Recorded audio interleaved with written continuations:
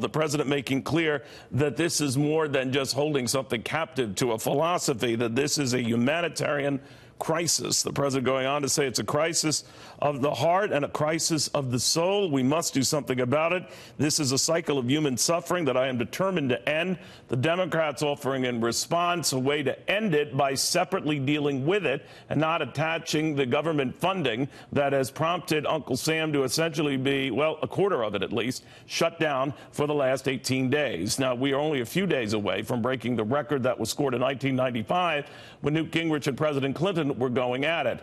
Now, where the middle ground will be found of this is anyone's guess, but it is fairly safe to say, listening to all the key players here, that there is no middle ground. The Democrats will not budge on this idea of funding for a wall they say we do not need. Furthermore, the president's overture uh, to make steel barriers rather than a concrete wall that he thought Democrats uh, would like more apparently fell on deaf ears when it came to Nancy Pelosi and Chuck Schumer. So, where do we stand right now amid a promise for the president to meet with leadership to discuss these very issues? Did anything move tonight? Did any progress get made tonight? To California Republican Congressman Tom McClintock. We will have the Democratic lawmaker on in just a moment, always fair and balanced. But let me ask you, Congressman, on this. Did anything give you a sense, no matter your feelings about the president, what he wants to do with the wall, that there is any middle ground here? I think the president's appealing to the American people. I think he realizes he's been there to negotiate. The Democrats have refused to negotiate with him. You cannot come to a uh, conclusion without both sides talking to each other, and that's what the Democrats have refused to do. The president is now turning to the American people in a test of will. And it's not a test of will between the president and the congressional leaders or between Republicans and Democrats.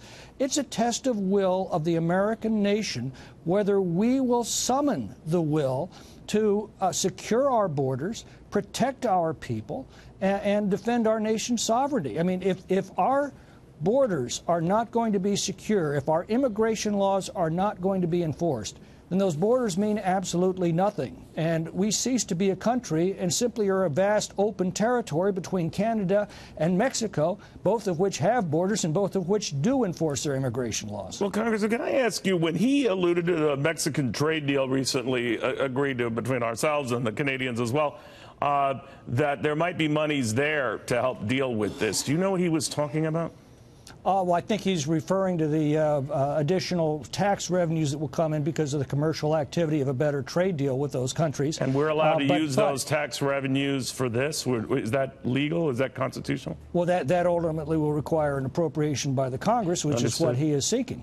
And uh, what this whole shutdown is about, uh, you know, whether or not we are going to take the minimal actions that are necessary to secure our borders and defend our country. All right, Congressman, thank you very much. Tom McClintock, out the beautiful state of California.